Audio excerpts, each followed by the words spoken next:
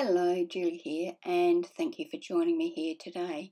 If you're new to my channel, thank you for coming along, and if you have been following me for a while, thank you very much. I really appreciate it. So I've got a collection of papers here, and I'm going to use my deckle edge ruler here to tear them down to size. Now, I want to have about four, in, four and a half inches wide so this one's pretty close to that, so I'm going to use that as my guide.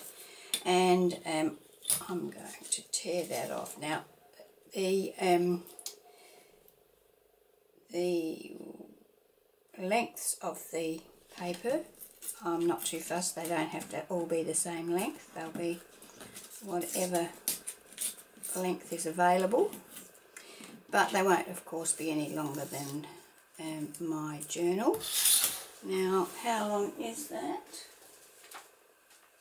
Uh, it's going in this journal here, and so I probably don't want it any longer than maybe, let's say six inches.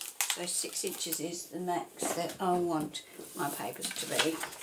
So, let's tear a piece off of here to get this um, started. I don't think this um,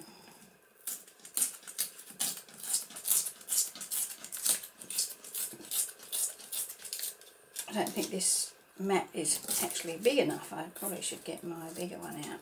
So how long is that? Okay, so let's say we're going to make this about four inches, so about here. Actually, I'm going to change my mat.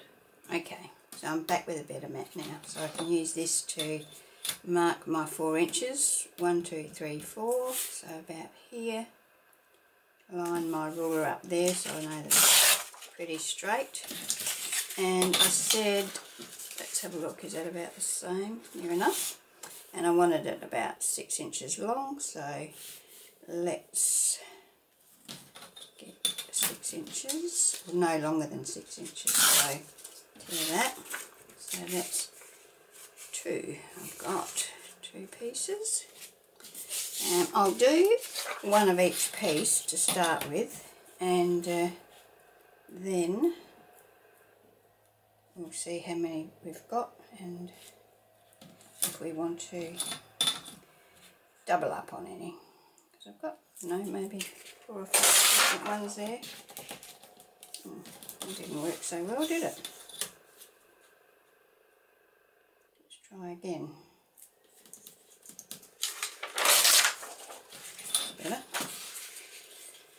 So about four inches. One, two, three, four, about there.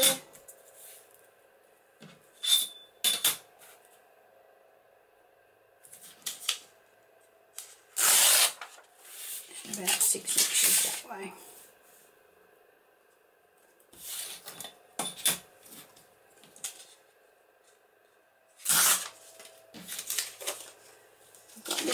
Paper. I don't know how this is going to tear, so might be a bit of trial and error here because these leaves in this handmade paper don't like to tear very well from memory. Mm. I'm going to have to, can I hand tear it? Probably not. Okay, well this one might just have to be cut with my trimmer. Now here's another handmade paper. Don't know how this is going to tear either. Let's try it. Oh, that tears alright. Okay, so that doesn't look that straight, does it? That's not too bad. So let's tear that reasonably straight.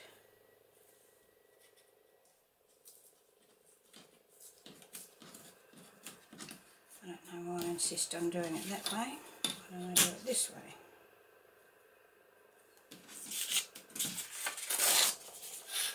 There.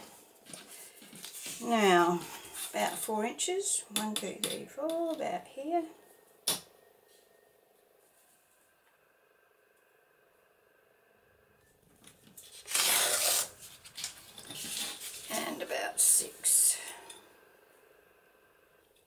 three, four, five, six. Make it a little bit shorter, won't hurt. Um, I've got some coloured, this is just uh, some A4 good quality paper, printing paper that uh, I have. I don't have to worry about that because that will probably be below the six inch line, so about four.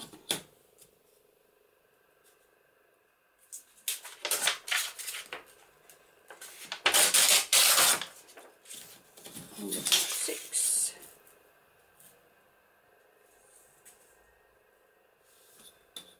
Doesn't look that straight, does it? Two, four, five, six, about there. Okay. And I've got another piece of the um, avocado dyed paper.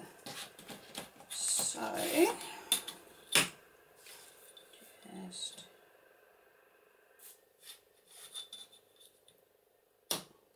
there like this. So this is just normal copy of paper that I have with avocado.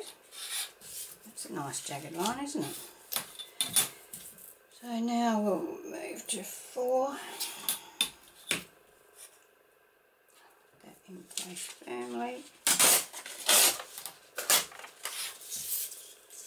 A little bit off the, oh it can, can be straight. And about six. Okay, so what have we got there? We've got one, two, three, four, five, six, and this one's seven. Well, why don't I put, if I put another one each of these in, that will be enough I reckon, and I won't put that handmade paper one in because it won't be torn like the others.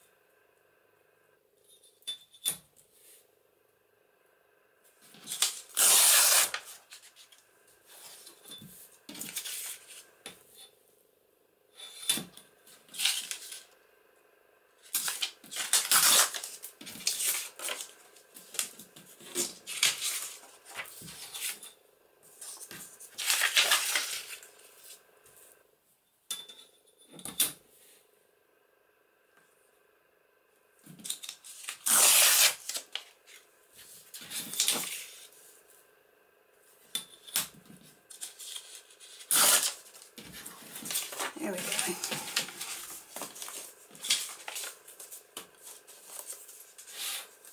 So one, two, three, four, five, six, seven, eight, nine. That will do. Okay, so what I'm going to do now is sort of sort them out into how I want them colour wise. I might have one of those in there.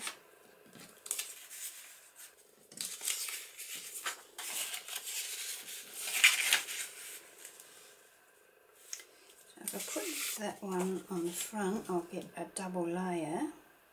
And if I put um, this one maybe in there, a bit of colour break up.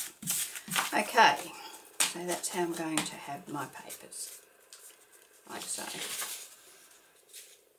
Now, um, I need to make a, a cover for it. So, to do that, I'm going to get some cardstock. Okay, so I've got this piece of cardstock. I don't know what brand or anything like that it is. But I'm going to cut that down so it's four inches wide. One, two, three, four. So here and I'm going to use my craft knife to do that. So I've got a little Olfa knife. And that along the smooth edge of my rule.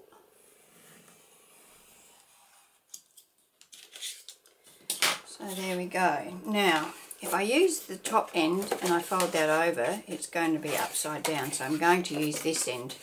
Now I want um, this to come in there and then I want this to fold over. So I want to fold that over about an inch.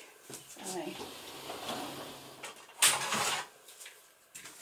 sorry about that noise, I'm just getting my scoreboard out. So I'm going to score that at one inch. Do I want it one inch? No, probably not. It's only four inches long, or six inches long. Uh, I'm going to go three quarters of an inch.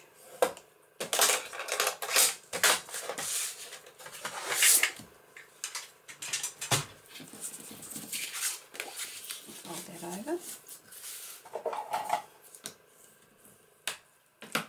And that's going to go, they're going to go in there like that. Okay, so now I need to make a little mark for where I want to trim that off.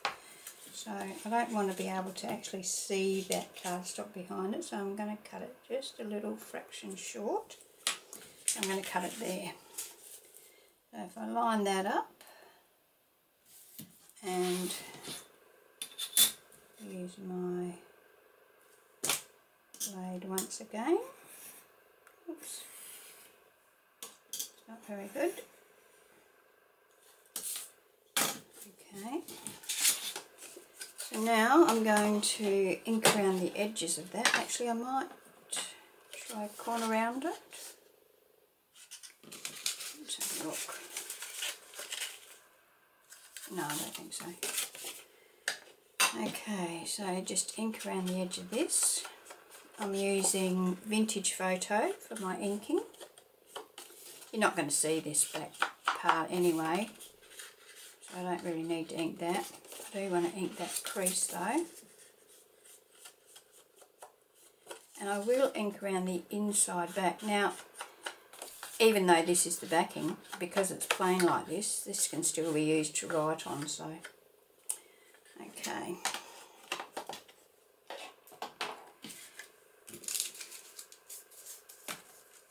Now I could ink around each one of these papers, but I'm not going to, and the fact that that's a little bit wider than the others is annoying me, so I'm going to trim that down a bit.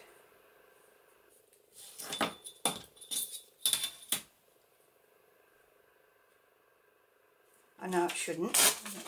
The idea of a junk journal is that it's all wobbly and out of out of uh, control, but oh, it must be OCD or something because that that's a lot better as far as I'm concerned. Now, what I'm going to do is I'm going to stitch across this to hold these papers in place. But I'm only going to stitch, oops, I'm going to stitch it like that so that this piece is not attached with the stitching. So I'll go and do that and then I'll be right back. Okay, so I've stitched that in now. Just trim these tails off.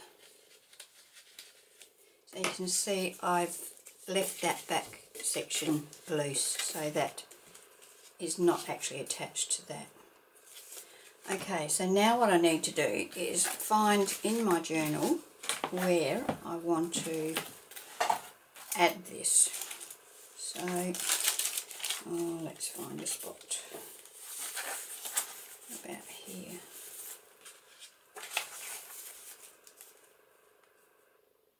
I think I would want it on this side page. Okay, so now I'm going to attach this using this. So luckily I've got this little bit of an off offcut left, so I'm just going to cut that to make sure that that's wide enough for that to fit through. So about there. like that with my pencil. Line that up on there and cut it.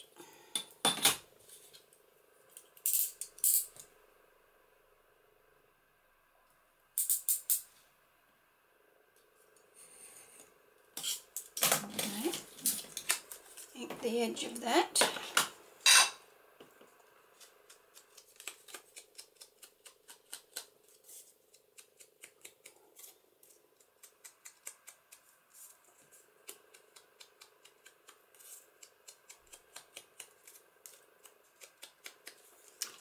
Right. Now, I want to have some decorative brads on that. So, I've got some brads here. Let's have a look. Um, so, maybe these bronzy coloured ones. Got two the same there?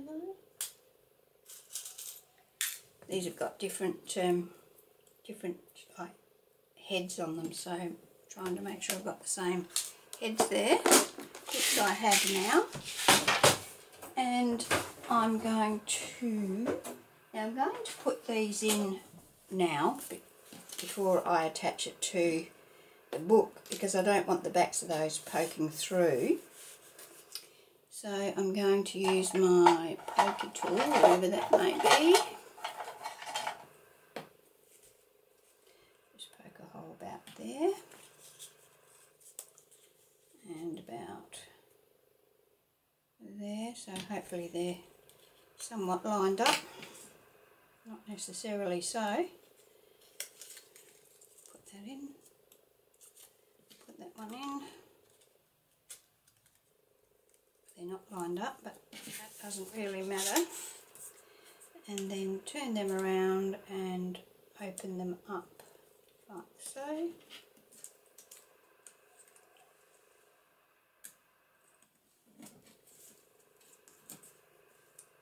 And then just use my palette knife to push down on that and make sure it's nice and flat. Okay, so where did we decide to go with this? Forgotten about there maybe that's going to go on there and then this is going to slip through that. So I'm going to mount that about, let's actually put that over that and then we can work out where we want to place it. Something's crooked. Something is crooked. Why is that?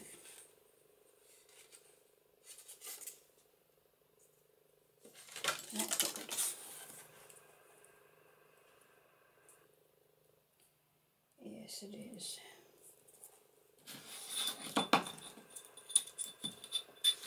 Okay, I'll just go to my trimmer and trim that up.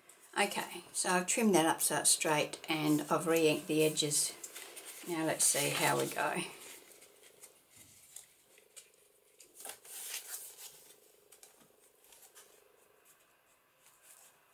Okay. Alright, so I'm going to attach that now, about there. So if I put a little mark at the bottom of that, is that about straight? About there. I can take that off, add my glue. I'm using liquid glue for this, art glitter glue. And I'm going to apply plenty of glue over that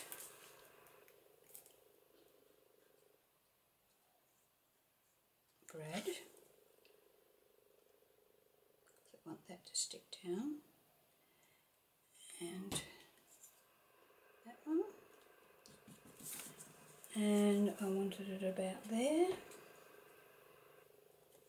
So, like so. so I'm just going to hold that for a second while that takes because those brads there and causing a little bit of texture or dimension I want to make sure that it grabs properly.